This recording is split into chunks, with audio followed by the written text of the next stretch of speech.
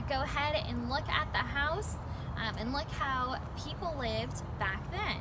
So here at the Francis Land House, which was built in 1805, there weren't just the people living inside the house, but there were people outside of the house too. Because this was a working plantation, we do know that there were enslaved people here as well. And in fact, at the Francis Land House, we know that Francis Mosley Land VI, who built the house, had two daughters. Their names were Anne and Mary.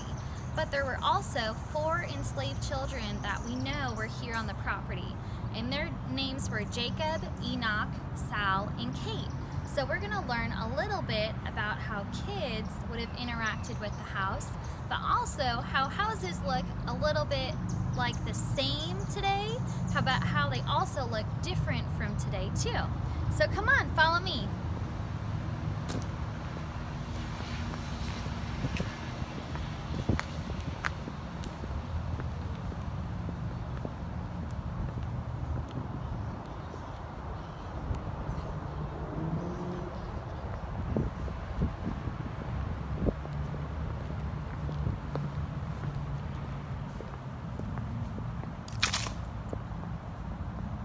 All right, so the front of this house might look really, really old.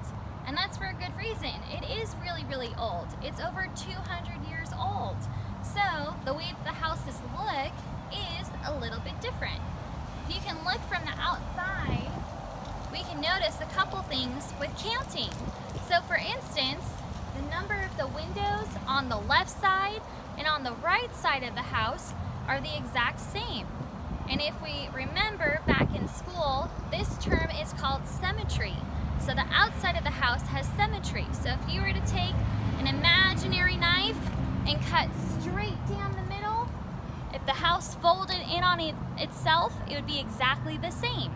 So let's go ahead and see if that is the same for the inside as it is on the outside, because I think it changes a little bit. Come on in.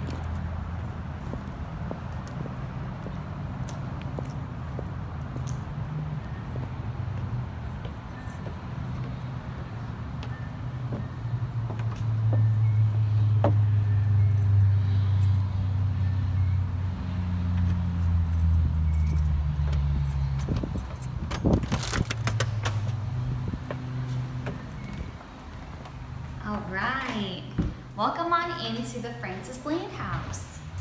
So, once we come into this large room, which is the first room in our house, um, we can notice that the symmetry does not follow through to the inside of the house.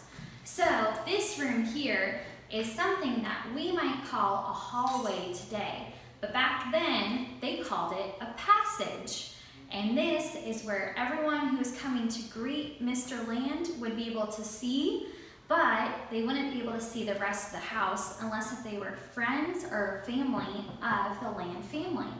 So we have the privilege of being their friends today. So we're gonna go ahead and go through the whole house and see how each room is a little bit the same or different. The first thing I wanna talk about is if we look down, we can see something that maybe is a little bit different from our houses today. Today we have carpet, but back then they had floor cloths. And this floor cloth, it's smooth, might be a little bumpy, but it is used to protect the floors underneath us. And this originally was made from like a big ship's canvas, material just like that and then it would have been cut and painted and then shellacked, so then made really, really hard um, and put into this house. So if for all the parents and uh, teachers watching, this is actually our first instance of linoleum. So this is where we think that they got the idea from. Maybe they did, maybe they didn't. let's go ahead and continue on to our next room.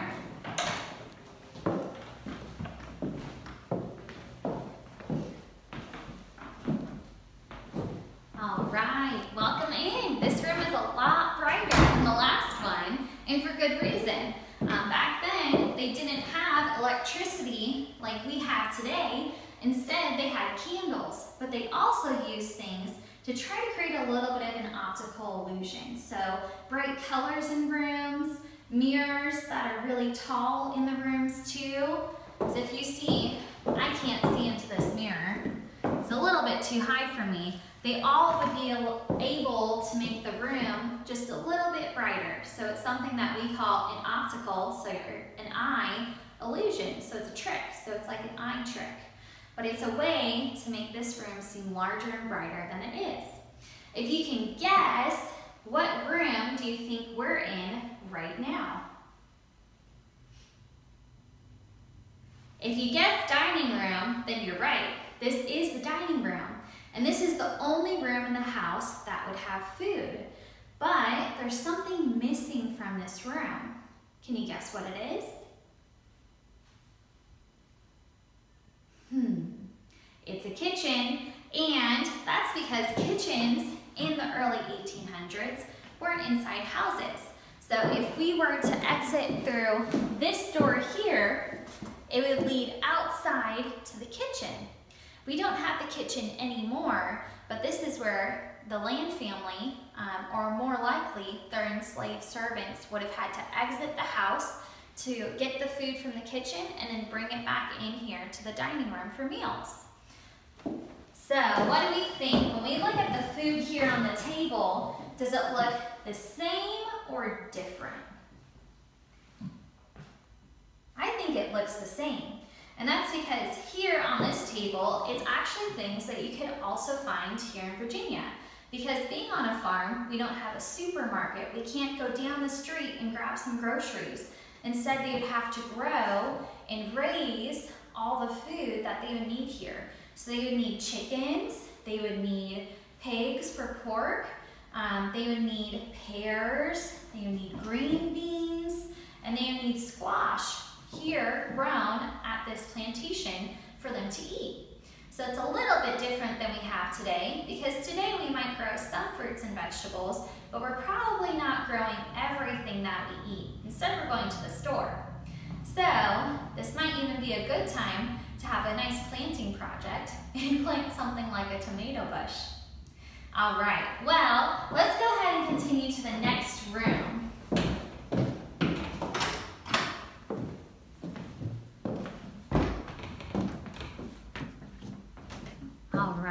It's a little darker again, but if we take a guess as to what this room is, can you guess what it is?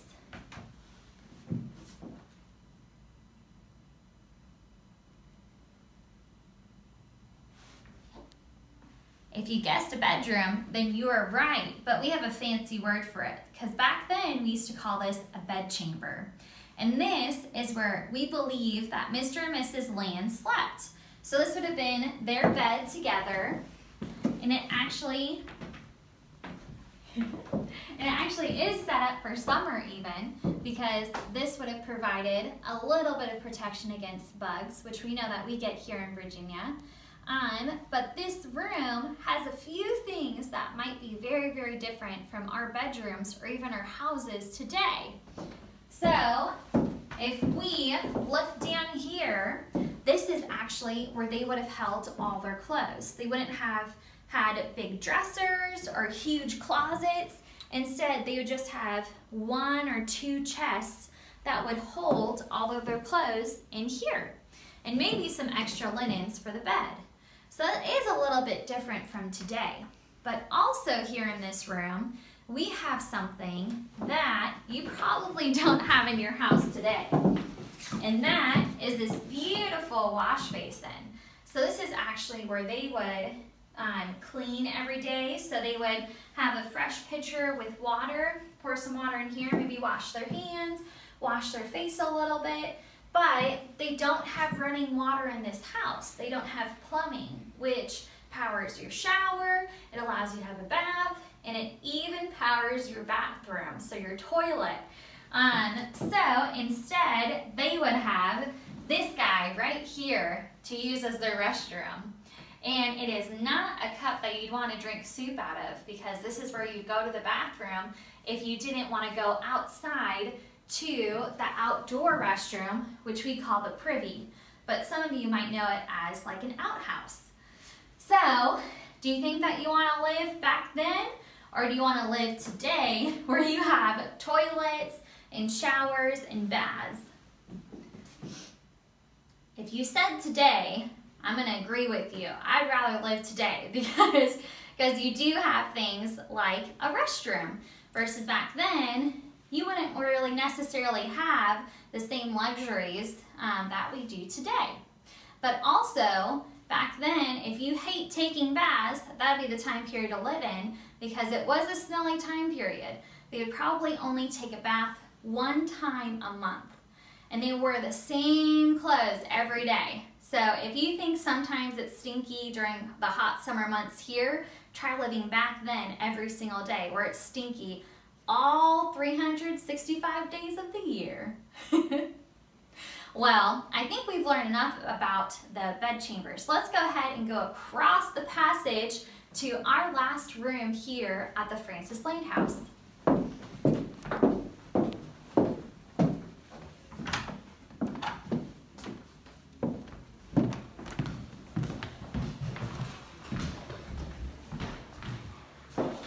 All right, so come on in.